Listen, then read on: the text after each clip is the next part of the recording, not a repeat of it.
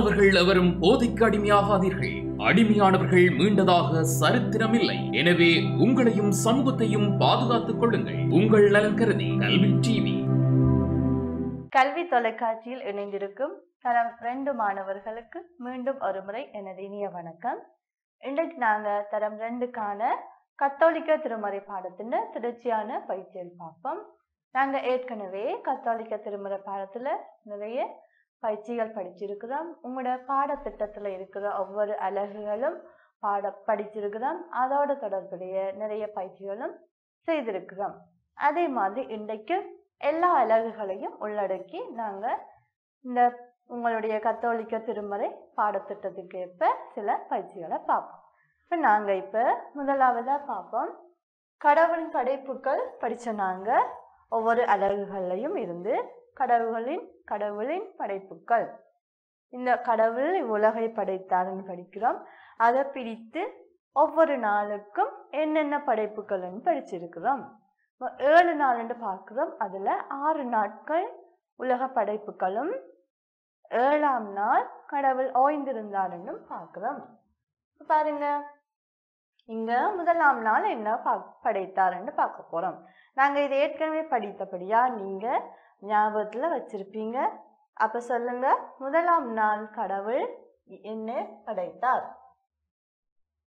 முதலாம் நாள் என்னத்தை படைத்தார்? இருள் ஒளி. இரவு வேளையில இருளும் பகல் வேளையில ஒளியும் நமக்கு கிடைக்குது. ஆகவே இருளையும் அதாவது இரவையும் ஒளி பகலையும் எங்களுக்கு படைத்தார். அதை நாங்கள் இருள் ஒளின்னு சொல்லுவோம். அதே மாதிரி இரண்டாம் நாள். இரண்டாம் நாள் போது என்ன வரப்போகுது? பாருங்க. விண்ணுலகம் அதாவது வானம்.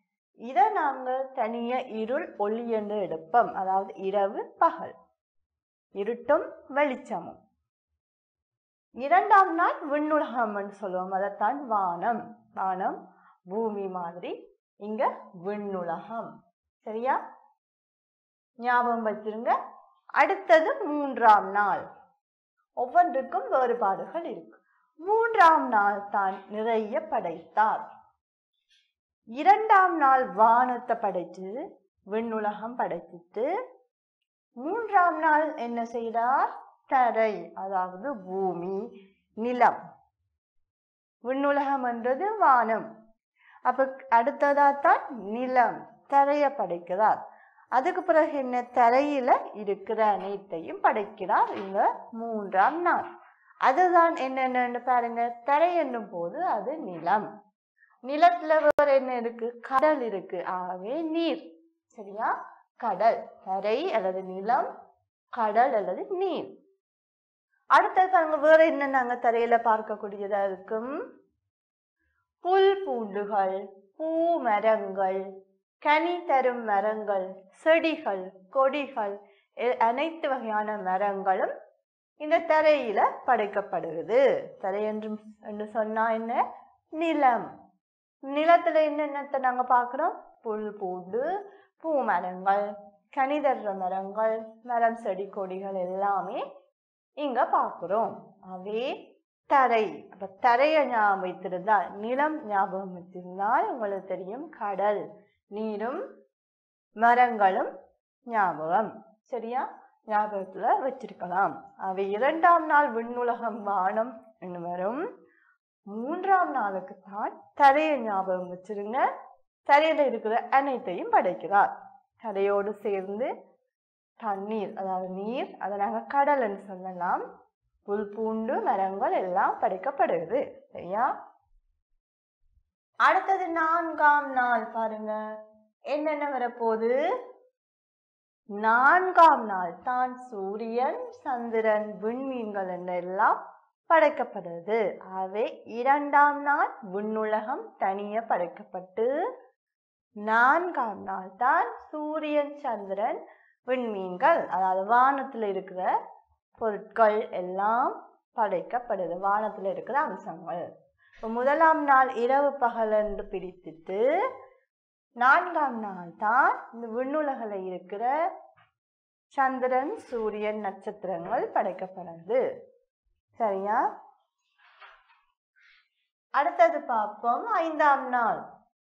இப்ப இங்க ஐந்தாம் நாள் தான் என்ன படைக்கப்படுது?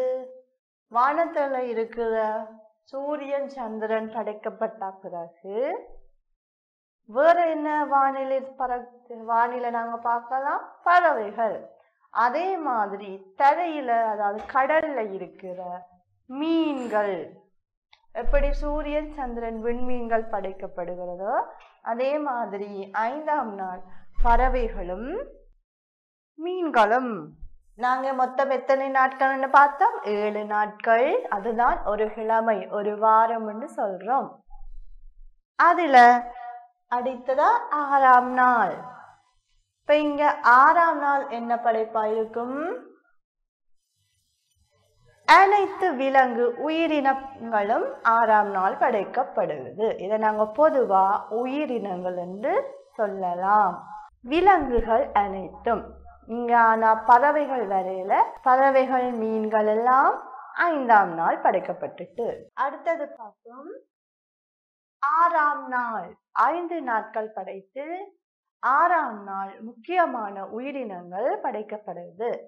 அதை நாங்க பொதுவா உயிரினங்கள்னு சொல்லலாம்.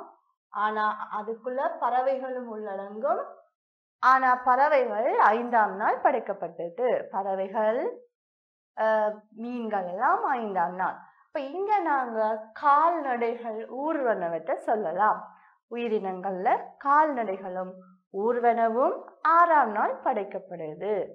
அதோடு முக்கியமா மனிதனும் ஆறாம் நாள் தான் படைக்கப்படுகிறான். ஆகவே விலங்குகளோடு சேர்ந்து மனிதன் படைக்கப்படுகிறான். அதுல ஆணும் பெண்ணுமாக படைக்கப்பட்டான். ஆண் வந்து ஆதாமாவும் பெண் ஏவாளாவும் படைக்கப்படுகிறார்கள். இப்ப இந்த ஆறாம் நாள் முக்கியமான படைப்பா இருக்கு. ஏன்? இங்கதான் மனிதர்களாகிய நாங்களும் அதாவது ஆதி மனிதன் அல்லது ஆதி பெற்றோர் என்று நாங்கள் சொல்லுவோம். அவர்கள் படைக்கப்பட்டார்கள். இப்ப ஆறாம் நாள்ல ஞாபகம் வச்சிருங்க. கால்நடைகள் ஊர்வன. அதோடு மனிதன். இப்ப ஏழாம் நாள் என்ன வரப்போகுது? கடவுள் ஓய்ந்திருந்தார் என்று சொல்றோம். அதாவது உலக படைப்புகள் அனைத்தையும் படைத்து கடவுள் அதை நல்லதென கண்டார். எல்லா படைப்பும் நல்லவற்றுக்காகவே படைக்கப்பட்டது நல்லதாகவும் படைக்கப்பட்டது. அப்ப கடவுள் அதையும் அனைத்தையும் படைத்து அதை நல்லது என கண்டார். இப்ப இங்க கடைசியா ஏழாம் நாள் ஓய்வடைகிறார். ஓய்வு ஓய்ந்திருந்தார் சொல்லப்படுது. அப்ப இங்க ஆறாம் நாள் படைப்பு முக்கியமானதா இருக்கு. அங்கதான் மனிதனும் படைக்கப்பட்டான் இப்ப மொத்தமா ஆறு நாட்கள் ஏழு நாட்கள் இருக்கு. அதுல ஆறு நாட்கள் தான் படைப்புகள் அனைத்தும் உள்ளடங்கும். நாங்கள் இது ஏற்கனவே படிச்சிருக்கிறோம். திரும்ப பார்த்துட்டோம். இது உங்களுக்கு இன்னும் ஞாபகமாக இருக்கும். அப்போ நாங்கள் பயிற்சி மூலம் பார்ப்போம். இங்கே சில பழக்கங்கள் இருக்குது பாருங்க. அதில் நல்ல பழக்கங்கள் தீய பழக்கங்கள்னு நாங்கள் பிரிக்க போகிறோம் எப்படி நாங்கள் சாதாரணமாக ஒரு சமுதாயம் அல்லது பாடசாலையோ அல்லது ஒரு இடம் வீடு கோவில் எந்த இடமா இருந்தாலும் நாங்கள் சில பழக்கங்களை கடைபிடிக்க வேணும். அதுலேயும் நல்லது தீயதண்டு இருக்கு. அப்ப சிறுவர்களாக நாங்களும் நல்ல பழக்கங்களை கடைபிடிக்க வேண்டும் தீய பழக்கங்களை நம்மளிடமிருந்து அகற்ற வேண்டும். நாங்கள் தீய பழக்கங்களை கற்றுக்கொள்ளக்கூடாது. நாங்கள் சூழலை அவதானிக்கிறது மூலம்தான் நாங்கள் அதை கற்றுக்கொள்ளுறோம். செய்ய வேணும். சரியா? அப்ப பாப்போம். இங்க சில பழக்கங்கள் இருக்கு. பாருங்க. உண்மை பேசுதல் சோம்பலாக இருத்தல் தினமும் குளித்தல் நகங்களை கடித்தல் பிறருக்கு உதவுதல் நகங்களை வெட்டுதல் பொய் பேசுதல் சுத்தமாக இருத்தல் சண்டை பிடித்தல் பல் துளக்குதல். இவ்வளவு விடயங்களும் இருக்கு. இப்ப இதுல நாங்க என்ன செய்ய போறோம்? நல்ல பழக்கங்களையும் தீய பழக்கங்களையும் இனங்காண போறோம். இப்ப பாருங்க உண்மை பேசுதல் அது ஒரு நல்ல பழக்கம். தினமும் குளித்தல். இப்ப இதுல நாங்க வழக்கமாக அன்றாடம் செய்யற பழக்கங்களும் இருக்கு. அதெல்லாம் நல்ல பழக்கங்கள். எங்களுடைய உடல் சுகாதாரத்துக்கு உதவுற பழக்கங்கள். பல் துலக்குதல் அது ஒரு நல்ல பழக்கம். அடுத்ததா பாருங்க சுத்தமாக இருத்தல் குளித்தல் பல் துலக்குதல் மூலம் நாங்க சுத்தத்தை பேணலாம். அதுவும் ஒரு நல்ல பழக்கம். அடுத்ததா வேற என்ன வரும்? பாருங்க நகங்களை வெட்டுதல் அதுவும் சுகாதார பழக்கங்கள்ல ஒரு நல்ல பழக்கம். இப்ப இதுல நல்ல பழக்கங்களை நாங்க தீய பழக்கங்கள் என்னென்ன இருக்கு? பாருங்க சோம்பலாக இருத்தல். இது ஒரு தீய பழக்கம். நாங்கள் சோம்பறித்தனமாக இருக்கக்கூடாது. நகங்களை கடித்தல் அதுவும் ஒரு தீய பழக்கம். சுகாதாரமற்றது. சண்டை பிடித்தல் அதுவும் ஒரு தீய பழக்கம். பொய் பேசுதல். நாங்கள் பொய் பேசக்கூடாது அதுவும் தீய பழக்கம். இப்போ இதில் இருக்கிற பழக்க வழக்கங்களில் நல்லவற்றையும் தீயவற்றையும் இனம் காண்றோம். இப்போ பாருங்கள் உண்மை பேசுறது தினமும் குளிக்கிறது பிறருக்கு உதவுதல் பல் துளக்குதல் நகங்களை வெட்டுதல் எல்லாம் சுத்தமாக இருத்தல் எல்லாம் நல்ல பழக்கம். அப்ப இவற்றை நாங்க என்ன செய்யணும்? எப்பவும் நாங்க கடைபிடிக்க வேண்டும். அடுத்ததா நாங்க சரிப்பிள்ளையிடுக பார்ப்போம்.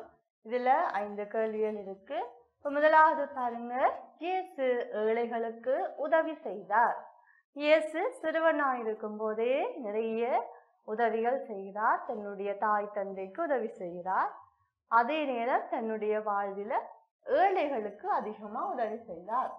இப்ப பாருங்க இங்க அது வந்து இயேசு உதவி செய்தார்ன்றது சரியானது. நாங்க சரி போடுவோம். இரண்டாவது பாருங்க யூத தலைவர்கள் இயேசு இறைமகன் என ஏற்றுக்கொண்டார்கள்.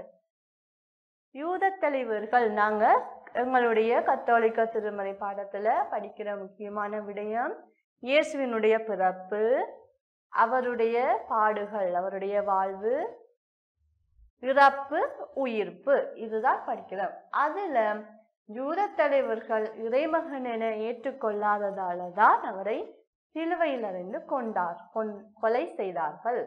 இப்போ இங்கே அவர்கள் என்ன ஏற்றுக்கொள்ளவில்லை. இதில் இதுல ஏற்றுக்கொண்டார்கள் என்றது பிழையானது. மூன்றாவது பாருங்க இயேசு மரணித்து இரு நாட்களின் பின் உயிர்த்தெழுந்தார். இயேசு மரணித்து எத்தனை நாட்கள்? மூன்று நாட்களின் பின் தான் உயிர்த்தெழுந்தார். நான்காவது பாருங்க இயேசு கல்வாரி மலை வரைக்கும் சிலுவை சுமந்தார். இயேசுவின் பாடுகள்ல நாங்க படிக்கிறோம். அது சரி. இயேசு இறையாட்சியை பெற்றுத்தர உமக்காக பாடுபட்டார். அது இதுவும் சரி இறையாட்சியை எங்களுக்கு தர பாடுபடுறார் அதுல இயேசுவின் பாடுகளை நாங்கள் பார்க்கிறோம். அதாவது என்ன? முள்முடி சூடி சிலுவையில் அறைந்து கொல்லப்படுகிறார். அடுத்தது பார்ப்போம். சில கேள்விகளும் எதற்காக இந்த உலகிற்கு வந்தார்? இப்போ நாங்கள் ஏற்கனவே படிச்சிருக்கிறோம் என்ன? எங்களுடைய பாவத்திலிருந்து எங்களை மீட்க. நாங்கள் பிறக்கும் போதே சென்ம பாவம் ஆதி பெற்றோர் செய்த பாவம் இயேசுவின் என்ன கட்டளையை மீறியது. இப்போ அது எங்களுடனே கூடவே தொடர்ந்து இருக்கிறதால திருமுழுக்கு மூலம் அந்த பாவத்திலிருந்து விடுதலை பெறுகிறோம். இரண்டாவது பாருங்க இயேசு யாருக்கு உதவி செய்தார்? ஏழைகளுக்கும் உதவி தேவைப்படுவோர் அதாவது உதவி அல்லாதோர் உதவியற்றோர் சரியா? மூன்றாவது என்ன? இயேசுவை யார் அதிகமாக வேதனைப்படுத்தினர்? அதுதான் நாங்க முதல் செய்த பயிற்சியிலையும் பார்த்திருந்தாங்க. யூதர்கள். அவர்கள்தான் இயேசுவின் மீது பொய் குற்றச்சாட்டு போட்டு இயேசுவை பாடுகள் அனுபவித்து அதாவது என்ன? அடித்து துன்புறுத்தி சிலுவையில் அறையுமாறு துன்பப்படுத்தினர். சிலுவையில் அறைந்து கொலை செய்தார்கள். அப்ப யூதர்கள் தான் இயேசுவை எதிர்த்தனர். அதே மாதிரி அடுத்தது பார்ப்போம். சிறுவன் ஜேசு கோவிலில் என்ன செய்து கொண்டிருந்தார்? ஜேசு வந்து சிறுவனா இருக்கும் போதே தன்னுடைய பணியை ஆரம்பித்தார். ஆனால் போதவர்கள் நடுவில் இருப்பதை கண்டார்கள். அதாவது போதித்து கொன்று இறையாட்சி இறைவனை பற்றிய செய்தியை சொல்லிக் கொண்டிருந்தார் நாம் யார் யாருக்கு கீழ்ப்படிய வேண்டும்? சாதாரணமாக நாங்கள் படிப்பது எங்களுடைய வாழ்க்கை முறையில் எங்களுடைய பெற்றோரும் ஆசிரியர்கள் பெரியோர் எல்லாம் சொல்லித் தருவார்கள். நாங்கள் என்ன செய்ய வேணும் யாருக்கு கீழ்ப்படிவோம்? முக்கியமாக எங்களுடைய பெற்றோர் ஆசிரியர் மூத்தோர் பெரியோர் எல்லோருக்கும் நாங்கள் கீழ்ப்படிய வேண்டும். எங்களுக்கு எங்களை விட வயது கூடிய அனைவருக்கும் நாங்கள் மதிப்பளிக்கவும் கீழ்ப்படியவும் வேண்டும். அதே நேரம் பெற்றோர் ஆசிரியர் முதியோருக்கு கணம் பண்ணவும் வேண்டும். அவர்களுடைய ஆசிரியரை நாங்கள் பெற்றுக்கொள்கிறோம். நாங்கள் இங்கே என்ன படிக்கிறோம்? கீழ்ப்படிய வேண்டும். மதிப்பளித்தல் கீழ்ப்படிதல் எல்லாம் ஒன்று அவர்களுக்கு நாங்கள் செய்கிற மரியாதை. கைகளை குவிப்போம். அடுத்ததாக என்ன இருக்கு? தலை குனி சரியா? அதே மாதிரி அடுத்தது என்ன? தரையில் விழுந்து வணங்குவோம். இதெல்லாம் நற்கருணையை ஆராதிக்கிறதுக்கு நாங்கள் செய்கிறது இன்னைக்கு ஆலயங்களில் நடுவில் இருக்கிறது என்ன? நற்கருணை. இறைவனின் உடலும் இரத்தமும் என்று படிக்கிறோம். அப்போ இங்கே இறை தந்தையை ஆராதிப்போம். முழங்கால் படியிடுவோம். கைகளை குவிப்போம். தலை குனிவோம். தரையில் விழுந்து. இப்போ நாங்கள் இது ஏற்கனவே படித்த விடயங்களும் இதில் இருக்குது இதன் மூலம் உங்களுக்கு மீண்டும் ஞாபகப்படுத்தி அந்த கேள்விகளுக்குரிய வினாக்களும் சரியான விளக்கங்களும் கல்வி டிவியில் புத்தம்புது நிகழ்ச்சிகளை உடனுக்குடன் பார்த்து மகிழ. எமது ஃபேஸ்புக் மற்றும் யூடியூப் பக்கத்தை லைக் செய்யுங்கள்.